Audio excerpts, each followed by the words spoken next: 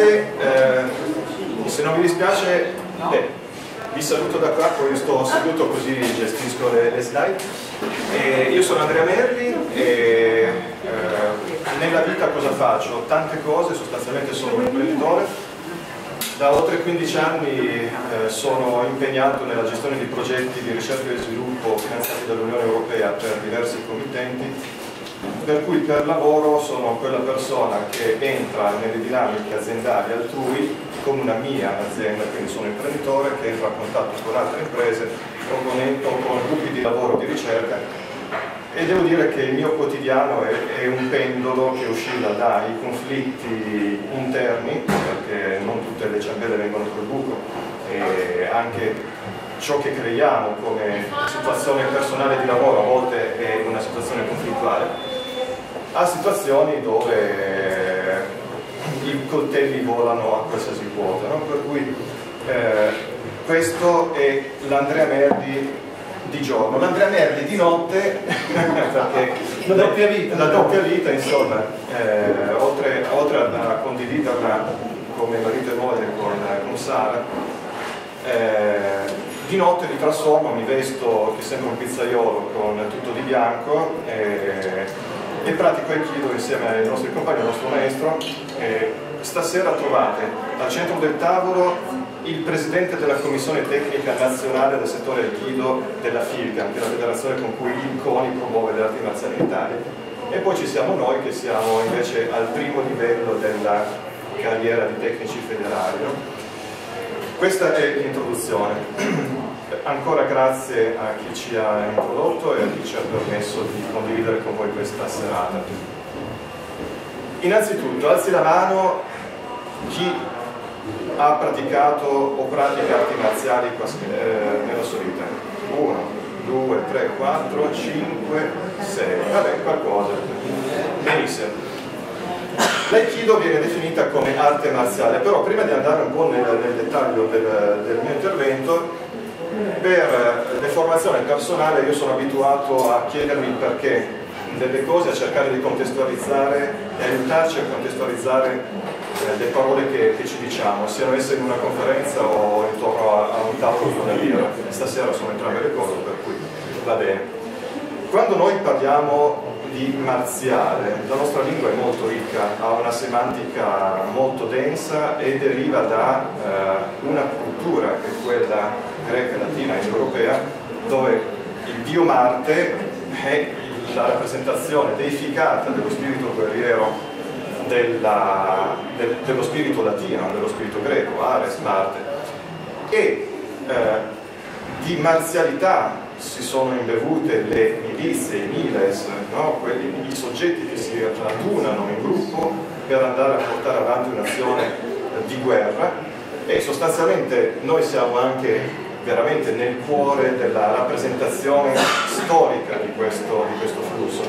Alle porte palatine, porte palatine la, la statua di Cesare Augusto, ci testimoniano una storia di un'Europa unita sostanzialmente da un'azione militare che ha poi eh, portato le basi per una, la storia del diritto, il diritto romano e le basi di quello che l'Europa è tutt'oggi come cultura e come società. Dopodiché la semantica della marzialità intesa come, mi, come militarità, come eh, vita militare, si è protratta e propagata ai giorni nostri e si parla di, se si parla di mi alzo o, o alzo, alzo, alzati pure, alzati così si sente di più. Si parla di militanza, qui ho messo una foto di Greta Thunberg giusto perché è sulla bocca di tutti, e c'è una militanza politica c'è un termine militanza che si usava eh, nell'ambito ecclesiale eh, nel passato, un termine che non mi è mai piaciuto unire in questi due mondi, inteso non come eh, vado e impongo il mio punto di vista, o forse a volte sì. Nella militanza politica questa è storia di tutti i giorni, anche eh, dei nostri giorni attuali. E poi la società, una società che parte almeno per 2700 anni, secondo determinati significati, sfoga la sua esigenza di militanza un po' dietro Facebook, no? diventiamo tutti leoni da tastiera, in questo il collegamento con uh, YouTube, con, con i vari social è molto interessante. E un po' si sfoga in eventi collettivi, dice la foto di una curva di vita, dove il devi morire eh, risuona esattamente come al Colosseo due anni fa. Dall'altra parte il Giappone, la nostra disciplina una disciplina che eh, fonda le radici nella cultura giapponese, quando si parla di arti marziali generalmente si usa un termine marziale che fa parte della nostra semantica, della nostra cultura, ma ci si riferisce a, a una cultura giapponese. Allora qua abbiamo messo il, uh, il kanji, l'ideogramma di Bujutsu, cioè tutto l'insieme delle tecniche di guerra, vastissime, e tutto sommato, siccome i giapponesi non sempre, ma sono esattamente persone come noi e quindi hanno la stessa storia nostra, anche se non hanno mai parlato latino, partiamo dalla deificazione del dio della guerra, uno delle divinità shintoiste Hachiman, a cui, a cui i samurai si rivolgevano per eh, chiedere e auspicare il favore in battaglia, una vita eh, feudale, militare, molto pervasiva, tutte le classi sociali erano in qualche modo addestrate all'uso eh, e alle tattiche militari all'uso delle armi fin tanto che poi nel, all'incirca nel, nel 1600 per motivi fiscali, anche questo i giapponesi sono identici a noi, eh, c'è stata una netta distinzione tra la classe, la casta guerriera, i samurai, e tutti gli altri, per cui si può dire che mentre noi abbiamo avuto una traiettoria evolutiva come europei, tale per cui sì, abbiamo mantenuto il servizio militare, i nostri nonni hanno fatto le guerre, però sostanzialmente nessuno di noi eh, o dei, dei, nostri genitori o dei nostri nonni ha praticato quotidianamente una disciplina per formarsi alla, alla, alla difesa e all'offesa. Questo nel Giappone si è protratto per molto più tempo. Il Giappone esce dal suo medioevo soltanto mm, alla fine del, del XIX secolo ed esce radicalmente da, dal suo involucro con i due confetti che gli americani hanno spedito sulle loro teste distruggendo Hiroshima e Nagasaki. Ed è molto significativo il fatto che eh, contestualmente il loro imperatore viene obbligato a, a, a ratificare la resa e a, a mostrarsi come perdente al suo, al suo popolo e questo per quanto riguarda la, la, il Michi, cioè il modo eh, giapponese, la, del Japanese way of life, no? la, il modo giapponese di, di, vivere, era qualcosa di impossibile pensare che ci potesse essere eh, una situazione tale per cui il mondo respingesse la cultura e il modo di vivere giapponesi che i giapponesi interpretavano, tutto sommato interpretavano ancora adesso come il più evoluto. No? per cui loro sono usciti totalmente eh, dall'incubo della guerra entrando in un altro incubo che è quello della ricerca identitaria come popolo e come singoli privati del loro spirito guerriero. Dopodiché, qui non si vede bene perché lo schermo è poco, però la società giapponese, nonostante sia ancora imbevuta di questi principi, ha più o meno le stesse pregi e anche le stesse devianze. Noi abbiamo i leoni da tastiera qua, come abbiamo in cosplay là, le persone totalmente distaccate dalla, dalla realtà. In mezzo ci sta l'aikido, perché dico in mezzo ci sta l'aikido? Lì c'è il, uh, il kanji, la, la calligrafia giapponese dell'aikido. Perché rispetto alla, uh, a tutto ciò che è il jutsu, cioè l'arte militare volta a risolvere un conflitto bellico nel più breve tempo possibile, che da noi si è sublimata eh, già a partire dal Medioevo con lo sviluppo delle armi da fuoco, mentre nel Giappone fino a, a, metà, a metà del 1800 si andava ancora prevalentemente di, di spada. No? Eh, L'aikido viene eh, inventato da, da, una persona, da Moriero Shiva, che è una persona che è veramente situata cronologicamente a cavallo di questi due mondi, perché nasce negli anni 60 dell'Ottocento e muore a metà del Novecento. quindi è colui sul quale è stata possibile sperimentare tanto la frustrazione di un mondo che andava ormai a tramontare, quanto la integrazione con le esigenze di un mondo globale, un mondo dove era evidente che se il confronto tra eh, fazioni, tra pluralità, doveva avvenire solo dal punto di vista bellico, l'umanità andava ad autodistruggersi. Per cui Moreo Shiva va con eh, l'Aikido a rinnovare tutta la sua esperienza di persona che come tutti i giapponesi del suo, del suo, tempo ha imparato a fracassare di volte e a uccidere in breve tempo eh, l'avversario va a purificare di queste finalità perverse la, la sua esperienza e va a sperimentare attraverso gli stessi principi una metodologia relazionale ma comunque, se vogliamo dirla così, anche efficace dal punto di vista fisico, marziale e risoluzione del conflitto. Quest'uomo ha, lasciato diversi scritti e, e, e, direi che uno dei pochi fondatori delle arti marziali di cui abbiamo testimonianze anche multimediali e registrazioni e lascia scritto questo pensiero. Ledere un avversario significa ledere se stessi L'arte della pace, che è sinonimo, uno dei sinonimi che eh, viene dato all'aikido, anche se non è la traduzione, l'arte della pace è controllare l'aggressione senza ledere.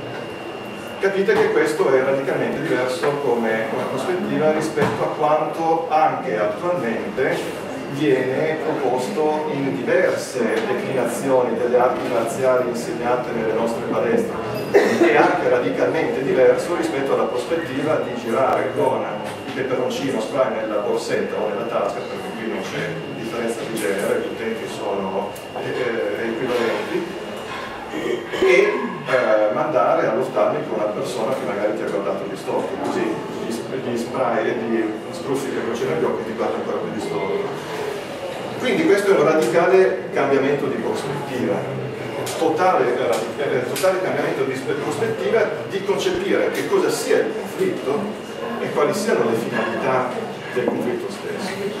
Si può dire che gradualmente l'esperienza del fondatore dell'Aikido e gradualmente la nostra esperienza di praticanti è un'esperienza di eh, simulazione di conflitto a livello fisico in palestra, nel dojo, sul tatami, per arrivare a capirne le eh, componenti fondamentali. Le componenti fondamentali del conflitto sono qualcosa che, eh, nascendo il conflitto da una relazione, parla chiaramente di noi all'interno di una relazione. Il conflitto, veniamo a noi, il conflitto è un'esperienza che proviamo tutti, tutti, e direi anche quotidianamente la confliggere e urtare contro no? e eh, uno dei problemi, uno dei tanti problemi della, della nostra società che non ci vuole eh, Zygmunt Bauman a dirci che viviamo in una società liquida per capire che eh, nelle relazioni perdiamo di vista noi, noi stessi e perdiamo di vista gli altri. Uno dei problemi è che perdiamo di vista anche il significato delle parole che descrivono noi nel nostro contesto e spesso pensiamo eh, e testimoniamo infatti che la soluzione del conflitto sia un non meglio precisato confronto, non sapendo che confronto, o dimenticandoci che confronto vuol dire comunque uno scambio a livello di, di menti, di pensiero, non uno scambio a livello di individui con tutta la loro ricchezza, molto spesso uno scambio di proiezioni mentali e quindi chiaramente cadiamo in altri livelli di conflitti con un confronto mal impostato. Certamente, certamente il conflitto ci parla di una dualità. Ci, ci siamo noi, c'è il problema. Ci siamo noi, c'è la persona che mi sta sull'anima. C'è la persona a cui sto sull'anima e ci sono io. E costitutivamente, proprio a livello di... Uh, corteccia cerebrale, queste sono le neuroscienze che, che, che, che ce lo dicono, le reazioni primarie di un essere umano di fronte a un problema, di fronte a un conflitto, sono reazioni istintive di tipo animale. c'è chi come reazione primaria ha l'istinto alla reazione, al combattimento, c'è chi come reazione primaria ha come istinto eh, primario la fuga, che è quello che ha fatto salvare i mammiferi, così dicono le teorie, da, da, da determinate situazioni nell'evoluzione. C'è chi come reazione primaria ha la stasi totale, no? eh, io vi posso dire che sono una di quelle perché eh, molto spesso, essendo io una persona molto molto eh, mentale, tutto ciò che mi sorprende al di fuori della griglia, magari pur vasta, che cerco di applicare all'interpretazione di quello che vivo, mi congela. No? Eh, un aneddoto stupidissimo, una volta in una, in una, sede di lavori in corso in, in Liguria, trovo una bella zucca eh, per terra, bellissima, fresca, ovviamente attaccata alla pianta di zucca, e non vedevo che la pianta di zucca era cresciuta 8 metri distante da un orto lì vicino, no? Dico, ed era presente anche Sana, che bello, mi alzo, la raccolgo, la stacco dal picciolo e la porto a casa, quindi facciamo la minestra di zucca. Cinque eh, metri dopo mi sono trovata la proprietaria dell'orto con una sorta di randello in mano e io sono rimasto così, no? un baccalà. E questa è una situazione diciamo, di conflitto inaspettato, no? ma eh, una situazione più di tensione, pensate voi cosa possa generare su un sistema come come il mio.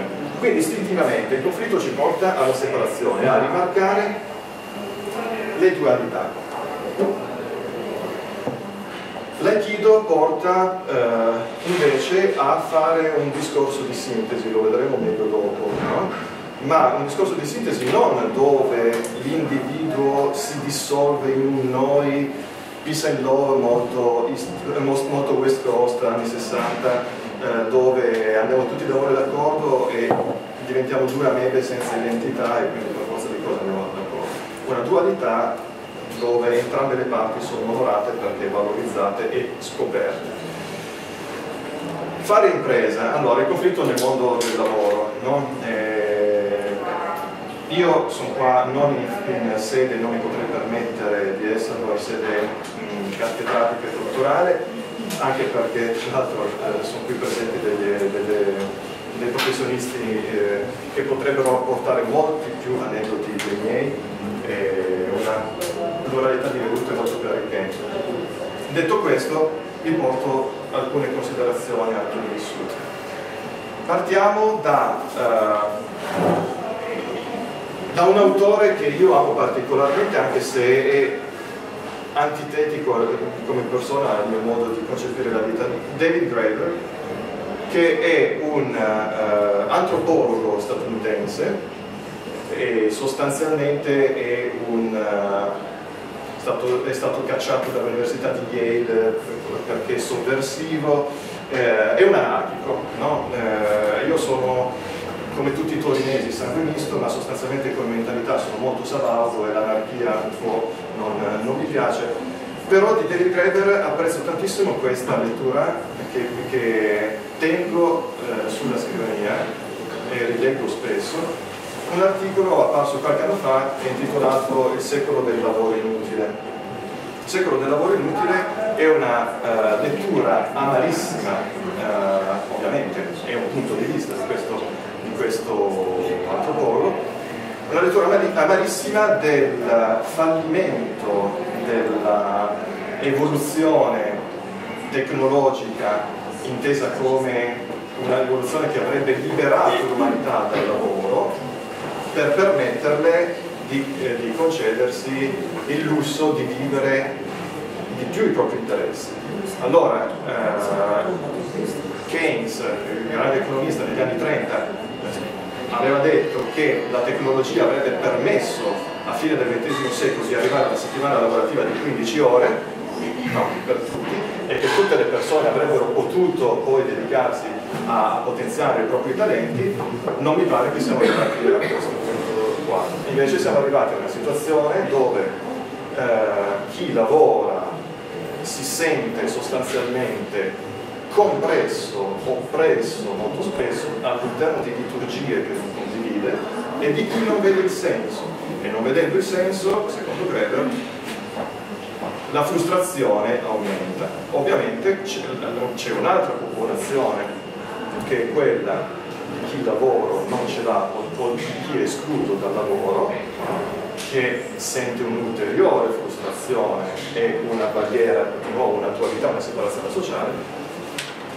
e poi c'è una pluralità di situazioni dove vengono creati dei lavori o delle funzioni sociali a supporto di altre funzioni sociali ma non se ne capisce il senso. Allora, il discorso è che in questa visione qua, quando poi all'interno dei, dei, dei, nostri mansionari eh, si, sentono, si, sentono, ripetere, almeno io nel, nel mio quotidiano le, le, ripeto io ai miei clienti o ai miei collaboratori, le ripeto per me stesso, si sentono ripetere dei mantra come le best practice, come i core values, i valori fondanti, come il rispetto for l'individuo, il rispetto per eccetera, eccetera, eccetera. Sono dei principi questi o sono dei demoni a cui sacrifichiamo il tempo del nostro agire? E in un contesto del genere, prima la dottoressa Nessuma ha citato il libro del professor Grandi, che eh, in fondo noi non saremmo qui se non ci fosse stata la visione di quest'uomo. È un libro che eh, ho letto di fretta perché è uscito da poco, però consiglio perché, ne consiglio la lettura perché è un libro di non psicologia, no? procedetevi, ma di riflessioni eh, di una persona che ha eh, solcato attraverso la psicologia e la psicoterapia i mali dell'essere umano e se trovo il segno, perché me lo l'ho messo, c'è una parte, eh, prima si citava l'angelo custode, no? c'è una parte ecco qua, ci arrivo, ecco qua, c'è una parte eh, che mette in correlazione il concetto di custodia con quello che è l'ambiente di lavoro, con quello che è l'ambiente delle nostre azioni. Il lavoro, il lavoro è, è, tale che sia quello di un manager a Manhattan o che sia quello di eh, una mamma che di sera si mette a, a, a riordinare casa. Eh? Custodire vuol dire difendere, proteggere. Se esercito la mia tecnica, probabilmente il professor Grandi è un epiloga emozionale, se esercito la mia tecnica con l'ottica di un custode, se prendo in custodia la persona o le persone di cui mi devo occupare, diventa tutto molto più complicato che esercitare semplicemente una tecnica. E anche la gratificazione diventa molto più diluita nel tempo e inevitabilmente deve essere divisa con le persone con le quali mi rapporto. Per questo mi gratifica di meno, con minore immediatezza. Esattamente, e questa è la fotografia perlomeno delle, delle mie giornate lavorative, esattamente quello che oggi nessuno è disposto ad accettare. Tutti vogliono risultati, successi, gratificazioni, subito. Io aggiungerei che molti, se non tutti, vogliono avere prestigio e autorità, dimenticando che l'autorità viene da un'autorevolezza con cui si gestiscono le, le relazioni. Perfino i protocolli aziendali sono tesi ad accelerare il conseguimento di risultati, a prescindere dalla loro effettiva e duratura qualità. Quante cavolo di liturgie, quanti cavolo di modelli di gestione io ho dovuto studiare, sciroppare, metabolizzare, applicare su di me per tenere addetto o declinare in realtà aziendali di cui eravamo consulenti perché era la moda del momento.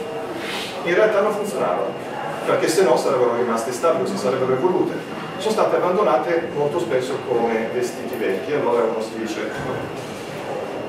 Eh, persino i protocolli aziendali sono tesi ad accelerare il conseguimento di risultati, a prescindere dalla loro effettiva e duratura qualità. E qui c'è il collegamento con il vostro mondo 15 sedute per un attacco di panico, 8 per l'abuso di cocaina e così via, senza chiedersi mai chi è quello che ci sta di fronte e chi siamo noi per lui. Allora, questo è eh,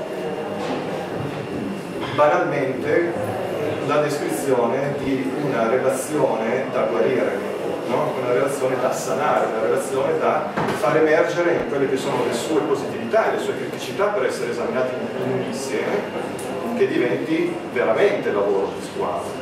Quando noi eh, ci vestiamo un po' da, eh, avevo detto, pizzaioli, o panettieri o imbianchini o muratori eccetera, e eh, decidiamo, anziché di starcene seduti sul, sul divano, di andare a eh, ruzzolare per un paio d'ore dall'altra parte della città, in realtà stiamo andando a mettere in pratica proprio questo tentativo estremo di eh, cercare di guarire le relazioni, partendo da noi, perché facendoci toccare, toccandoci, entrando in contatto acritico con un altro corpo, subendo una tecnica e poi impostandola su un'altra persona.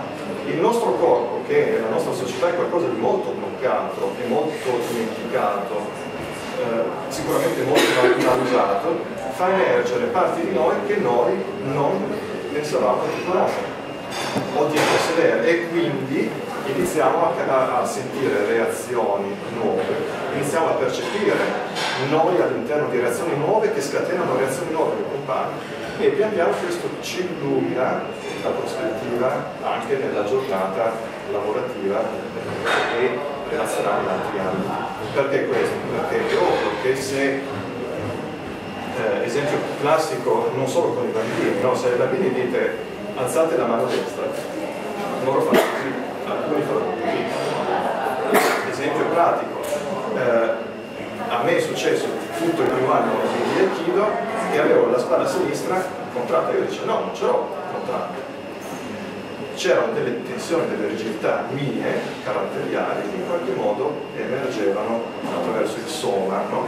E allora ben venga un qualcosa che eh, nel movimento, nel principio di accettazione dell'altro, eh, possa, possa eh, farci evolvere. Vado a chiudere. Eh, il, in ambito lavorativo la, eh, il tentativo di soluzione di un conflitto è funzione per il raggiungimento degli obiettivi. Gli obiettivi sono obiettivi di bilancio, obiettivi di budget, per cui rispetto ai numeri chi ha una formazione ingegneristica, ma anche chi no, perché il conto in banca comunque parla chiaro anche chi non ha una formazione economica, rispetto ai numeri non si può sgravare. Però dietro i numeri ci sono sempre delle persone, per cui l'approccio la, classico è quello dell'analisi del, del, conflitto, come sorge, come sono le, le, le relazioni, com'è la classificazione delle varie fenomenologie del conflitto, le varie tipologie di persone all'interno del conflitto, c'è il, uh, il, leader, c'è il portatore d'acqua, c'è uh, il, il parassita, c'è quello che rema contro ma uh, di nascosto. Sono studiate, questi chi fa psicologia del lavoro li, li scandaglia quotidianamente. No? Il monitoraggio, tut, questa classificazione è un po' come è un tentativo legittimissimo di classificare l'essere umano secondo dei libri di geometria. Soltanto che, come tutte le classificazioni statistiche, funzionano questi approcci in maniera anche a volte maggioritaria, ma non totale. E come comportarsi quando ci sono le eccezioni? o rigiro la domanda, perché diavolo a me capitano sempre le eccezioni? Perché penso che questa sia una domanda che, che, che, vale un po' per tutti. Al lavoro, per quanto uno ti dica no, ma ci devi parlare come persona, no? ma per, per, proviamo a condividere, usiamo l'ennesimo eh, strumento di collaborazione online. Se, strumenti vanno bene, aiutano, ma dietro c'è sempre una relazione con, con, con noi stessi e con una persona, più persone che non possono essere ridotti a, a modello. E quindi il discorso è che in un contesto dove la leadership o comunque l'autorevolezza, che non vuol dire essere, eh, concepire i rapporti nel mondo del lavoro nel mondo dell'impresa in maniera gerarchica, ma l'autorevolezza che viene fuori dal rispetto di quello che sei tu per me. L'autorevolezza viene dalla relazione col conflitto è da come uno gestisce le criticità in ambiente del lavoro che viene fuori veramente il leader e lo si riconosce e questo fa saltare i nervi di quelli che pretendono di essere i capi senza esserlo, no? altra cosa quindi il discorso è l'aikido in tutto questo che cosa può portare? Un discorso lavorativo non soltanto di impresa, no? di relazione sulla del lavoro. Sicuramente una nuova via di non negazione dell'esistenza di un problema, ma non di uh, soluzione marziale bellica. Perché la soluzione marziale bellica, certo che c'è, certo che funziona. Chiudere la bocca a un collega è abbastanza semplice no? Quante situazioni di umiliazione si vivono in un contesto lavorativo? Subite o, o votate? Eh, creare terra bruciata, triangolare per eh, emarginare una persona, è facile, però è una via che non porta a, a una soluzione, sposta semplicemente il conflitto a una, a una scala più grande. L'integrazione del conflitto in una nuova prospettiva significa in qualche modo uscirsene, questi sono alcuni dei casi eh, accaduti eh, realmente, significa andare a identificare benissimo la reazione e la controreazione che, si scatenano nell'ambiente lavorativo di fronte all'analisi congiunta di un problema. Siamo in ritardo su una consegna. Eh, ma tu non mi, hai, non mi, hai, mandato i documenti di me che ti avevo chiesto, magari non nemmeno vero, ma come posso fare che sto già lavorando per XYZ, no? Raramente si prova a dire va bene, hai ragione, capisco il tuo punto di vista, sediamoci un momento e vediamo come gestire insieme la commessa in maniera tale da poter onorare l'impegno cliente e scaricarti di lavoro se posso fare io qualcosa per te. Di nuovo, il concetto di custodia. Ti vedo demotivato, no? eh, oggi non ci sei con la testa, no? eh, non hai più il fuoco che avevi prima, questo nel, nel, nel, nel mio mondo è qualcosa che c'è tanto, tanto, perché noi siamo i parafulmini, no? Abbiamo, siamo i parafulmini noi stessi e delle aziende per le quali lavoriamo. La reazione no, non è vero, io sono sempre sul pezzo, anzi, non hai visto, iniziano a mandarti le mail a mezzanotte, a una di notte descrivimi, no? parla, raccontami. Non nego che io possa essere brutto, no? raccontami, aiutami a migliorare. Quello che manca, e chiudo, al, al nostro mondo professionale, al nostro mondo in generale, è che noi non siamo capaci a, di umiltà e di aiutarci a vedere i pregi di ciascuno per migliorare.